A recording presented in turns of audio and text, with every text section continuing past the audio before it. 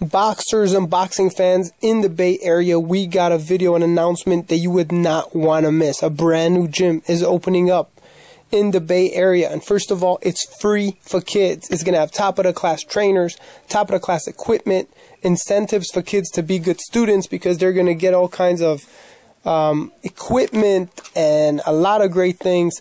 But for adults, any adult who wants to train at the gym and you want a membership for life for free, um, the gym is doing this. The first 154 people, this is in honor of the late Omar Henry. David Ali, the person who's going to run the Bay Area Boxing Academy, was the trainer of Omar Henry. And in honor of Omar, the first 154 people to sign up will get a free membership for life. You can't beat this deal. What boxing gym will let you train for free for life? So if you want to be one of those first 154 people, just email Bay Area Boxing Academy at gmail.com. Bay Area Boxing Academy at gmail.com. Also, make sure to follow them on Instagram at Bay Area Boxing Academy and on Facebook, Bay Area Boxing Academy. So there you have it.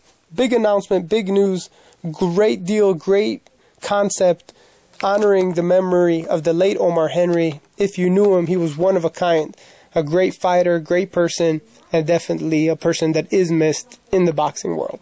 So there you have it.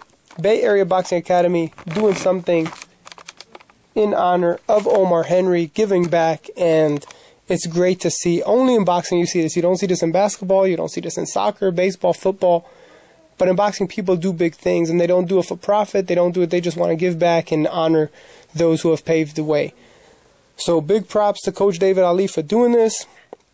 And of course, um, kids train for free.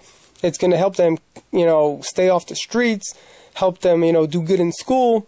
And of course, for the adults, in honor of Omar Henry, the first 104, 154 people that will email Bay Area Boxing Academy at gmail.com, fill in the application, bring the application to the gym. You know, hope you're one of those first 154 and you have a gym membership for life. So there you have it. Stay tuned for ESNewsReporting.com. I'm Elie Seckbach reporting, and you can follow me on Twitter at Seckbach.